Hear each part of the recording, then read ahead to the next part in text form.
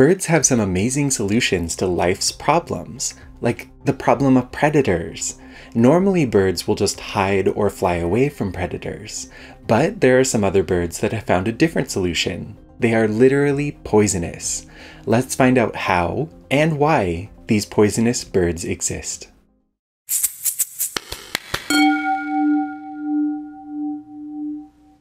The pitohui are a group of brightly colored birds native to New Guinea. And the bright color is a warning. The skin and feathers of this bird contain a nerve poison called batrachotoxin. Batrachotoxin is the same deadly poison produced in poison dart frogs. It permanently binds to nerve cells and turns off their ability to send and receive signals. For an exposed animal, this results in numbness, paralysis, or death. Almost all species of pitohui have this poison, and the most poisonous is the hooded pitohui. Just touching this bird exposes the skin to batrachotoxin and causes numbness. But none of the pitohui actually produce batrachotoxin. It comes from their diet by eating poisonous beetles like this one. These beetles make their own batrachotoxin, ideally protecting themselves from predators but their poison does not harm the pitohui. I couldn't find information on why the pitohui is not poisoned, but in the poison dart frogs, it's because they have modified nerve channels that are unaffected by the poison. So pitohui are able to eat these beetles and concentrate their poison in their feathers and skin. Then, if another animal tries to eat the pitohui, they get a mouthful of batrachotoxin. Over time, predators have learned to stay away from the pitohui. And there are more unrelated groups of birds that have found these poisonous beetles. The blue-capped ifrit also stores batrachotoxin in its feathers. So does the rufous shrike thrush. An interesting thing about the rufous shrike thrush is that it does not use warning colors to deter predators. This suggests a second use for batrachotoxin, which is to deter parasites.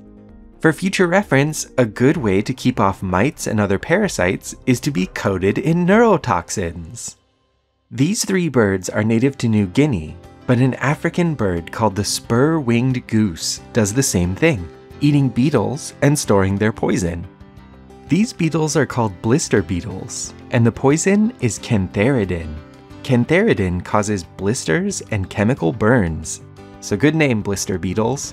The spur-winged goose is able to eat these beetles without harm, which is a useful adaptation in its own way, but then it stores cantharidin in its tissues, so anything eating the goose will be chemically burned or poisoned.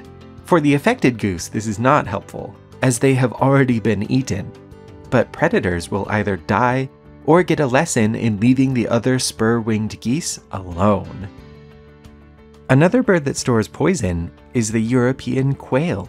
During their migration, they eat plants, and an unknown plant will turn a quail poisonous. The poison is coniine.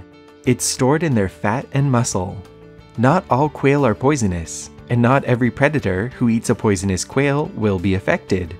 But for those that are, the predator will experience muscle cell breakdown.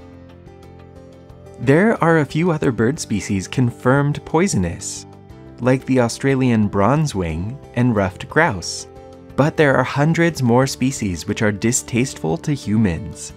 We're probably not done discovering poisonous birds.